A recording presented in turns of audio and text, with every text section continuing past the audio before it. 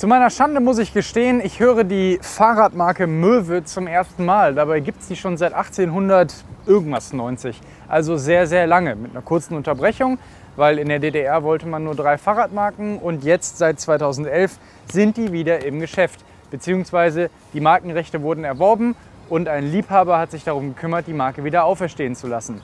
Das ist richtig gut gelaufen, denn jetzt gibt es das erste E-Bike und ich muss sagen, ziemlich krasses Teil. Was das kann, jetzt hier im Video.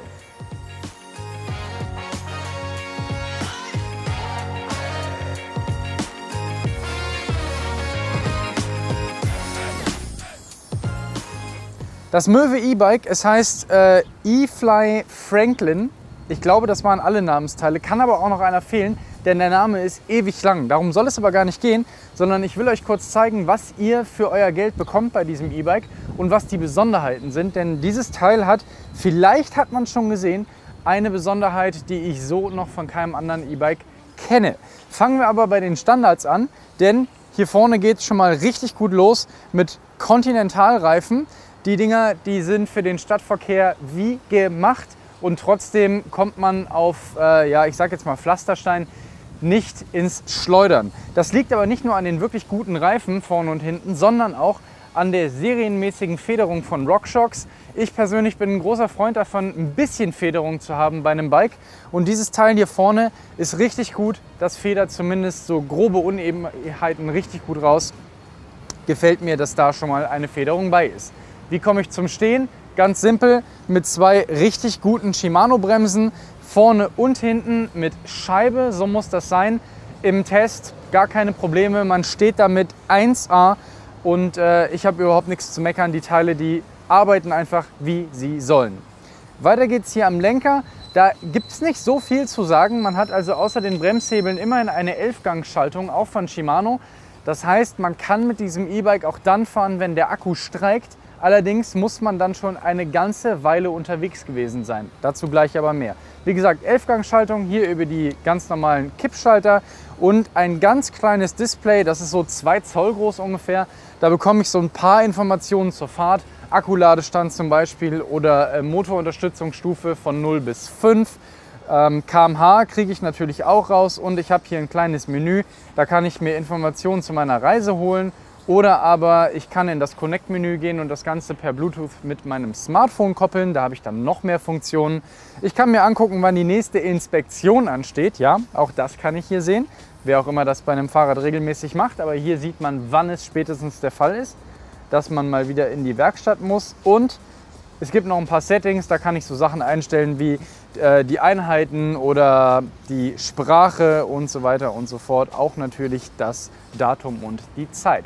Viel mehr gibt es dazu nicht zu sagen. Ganz kleines Display, wie gesagt. Und hier gibt es noch eine kleine Schaltereinheit mit einem großen Minus und einem großen Plus. Diese Schalter sind natürlich für die Motorunterstützung, wie schon gesagt, 0 bis 5.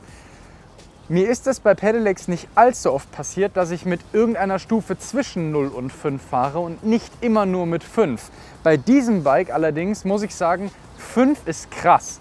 Also das hat mit bequemem Vorankommen nicht mehr viel zu tun, sondern das ist richtig so, zack, 25. Ein ganz, ganz heftiger Motor, der hier drin sitzt. Sehr, sehr viel Power im Hinterrad, auch wenn es natürlich nur ein Pedelec mit 25 km/h Endgeschwindigkeit ist. Aber diese 25 km/h kann man das habe ich jetzt gelernt, anders erreichen als langsam und gemächlich. Jedenfalls, wie gesagt, fünf Stufen. Dann gibt es hier noch ein paar Anschlüsse und zwar gibt es äh, hier auch noch Micro-USB und ganz wichtig hier bei den Knöpfen, ich kann natürlich das Licht zuschalten und abschalten und ich kann hier noch das Tacho relativ schnell bedienen. Ich habe hier eine Set-Taste, da kann ich so ein paar Einstellungen schneller durchführen oder Menüs durchwechseln ohne dass ich jetzt hier auf dem Display rumtatschen muss, beziehungsweise überhaupt die Hände vom Lenker nehmen muss. Also sehr durchdacht. Machen wir weiter mit dem Herzstück und zwar diesem riesigen Akku hier. Das ist ein 612 Wattstunden Akku. Der reicht laut Hersteller für 150 Kilometer. Soweit bin ich jetzt im Test nicht gekommen. Ähm, nicht, weil das Rad vorher aufgegeben hat, sondern weil ich schlicht nicht einfach mal 150 Kilometer fahren konnte. Aber der Akku hält richtig lange, ist richtig groß und wie gesagt, gibt auch eine Menge Power ab. Und jetzt kommt das Allerwichtigste, finde ich zumindest, das hat sich irgendwie so rauskristallisiert als sehr, sehr wichtiger Punkt. Man kann den Akku rausnehmen. Dabei ist ein Set Schlüssel. Die packt man einfach hier rein. Man muss den Akku vorher einmal vom Motor trennen. Das ist so ein Magnetschalter, das geht ganz simpel. Und dann kann man, Vorführeffekt ja oder nein? Nein. Den Akku einfach entnehmen und hat dann dieses Monstrum quasi zum Mitnehmen. Es ist jetzt nicht unbedingt super schwer, das ist also ganz gut. Man kann das Ding quasi mit ins Büro nehmen und aufladen. Hier ist nämlich der Anschluss für das Ladegerät. Da kann man dann einfach äh, irgendwo auch in der Wohnung bunkern und muss nicht immer das Fahrrad zur Steckdose schleppen. Sehr, sehr gut also. Wie gesagt, das ganze Ding 612 Wattstunden und äh, 17 Amperestunden. Da steckt richtig was drin. Pack den mal wieder rein. Der ist etwas hakelig, wenn ich mal meckern darf. Der ist etwas hakelig, weil wie man schon gesehen hat, der hakt hier an fünf verschiedenen, beziehungsweise eigentlich an zehn Stellen ein. Und das merkt man beim Rausziehen und Reindrücken. Ich nehme aber mal an, dass wenn das Bike nicht mehr ganz flammneu ist, dass das einfacher geht. Aber für jetzt auf jeden Fall, gerade am Anfang, ich hatte ganz kurz das Gefühl, ich kriege den da nie raus, aber jetzt so langsam geht's. Magnetanschluss wieder dran und schon kann man weiterfahren. Das soll aber noch nicht alles gewesen sein, denn wie man hier unten schon sieht an den Pedalen, verbirgt sich da eine richtige Neuheit drin, die man so bei anderen Bikes noch nicht gesehen hat. Das hat einen ganz einfachen Grund. Möwe hat es entworfen, Möwe benutzt es und Möwe hat es patentiert. Also kann es kein anderer benutzen, außer eben den Machern von diesem Bike. Das System nennt sich Sci-Fly und ist quasi eine Neuerfindung des Rades bzw. des Antriebs eines Rades. Denn normalerweise hat man hier ein Pedal, das Pedal das sitzt mittig auf einem Ritzel, man dreht an dem Pedal, das Ritzel dreht sich, die Kette wird angetrieben, ihr kennt das, ihr wisst, wie ein Fahrrad funktioniert. Hier ist das ein bisschen komplizierter. Da sind sehr, sehr viele Teile drin verbaut.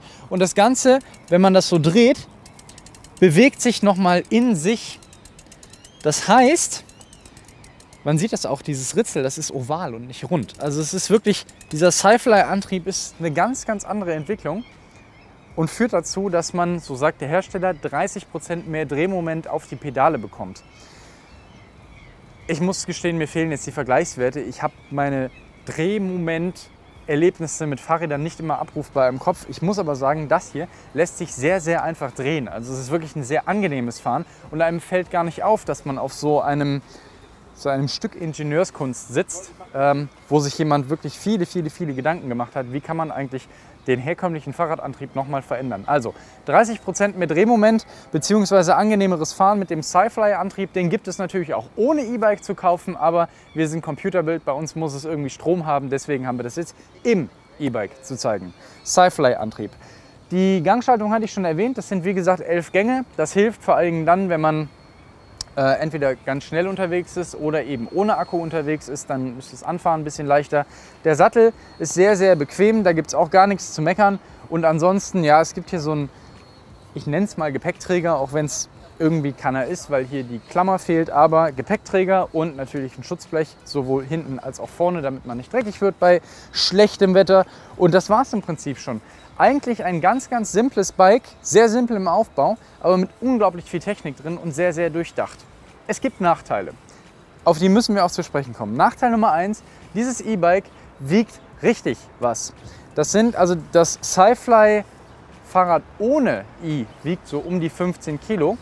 Mit dem E-Motor, ach, den haben wir ganz vergessen. Mit dem E-Motor sind es nochmal ungefähr 10 Kilo mehr, also reden wir da so von boah, 23, 24 Kilogramm das merkt man dem Ding auch an. Also es ist sehr, sehr schwer. Wir hatten kürzlich das Cowboy im Test, beziehungsweise kurz zu Besuch. Das war viel, viel leichter als dieses Monster. Das hier ist wirklich ein grundsolides Fahrrad. Ähm, ich traue dem hier mehr zu und auch mehr Langlebigkeit, aber man bezahlt eben mit dem höheren Gewicht. Ganz schnell noch zu dem Motor, weil ich den noch gar nicht erwähnt hatte. Das ist ein Neo Drives Motor, made in Germany. Das ist also quasi ähm, na, ein Bafang in sehr hoher Qualität. Hinterradmotor deswegen, weil es für den Hersteller einfach vom Konzept her mehr Sinn gemacht hat. Ich muss aber sagen, anders als bei vielen anderen Hinterradmotoren ist mir hier nichts Negatives aufgefallen. Sobald ich in die Pedale trete, drückt das Ding nach vorne, die Sensoren reagieren sofort und ich habe also kein nachgelagertes Anschieben oder so, sondern ein sehr natürliches Fahrgefühl. Kann also nichts Negatives über den Motor sagen, außer dass wenn man im ersten Gang anfährt und es sagen wir darauf anlegt, dann fährt man hier mit Wheelies. Also das hatte ich auch noch nicht oft bei Pedelecs. Das Ding hat also richtig Power. Ist aber eigentlich nichts Negatives. Ist nur gefährlich, wenn man fährt wie ein Idiot. So, ähm, genau. Also es ist sehr schwer, das ist ein Nachteil. Und der andere Nachteil, finde ich zumindest, ist der Preis. Für dieses grundsolide Bike ruft der Hersteller 5.500 Euro auf. Das ist tatsächlich sehr viel Geld für ein Fahrrad.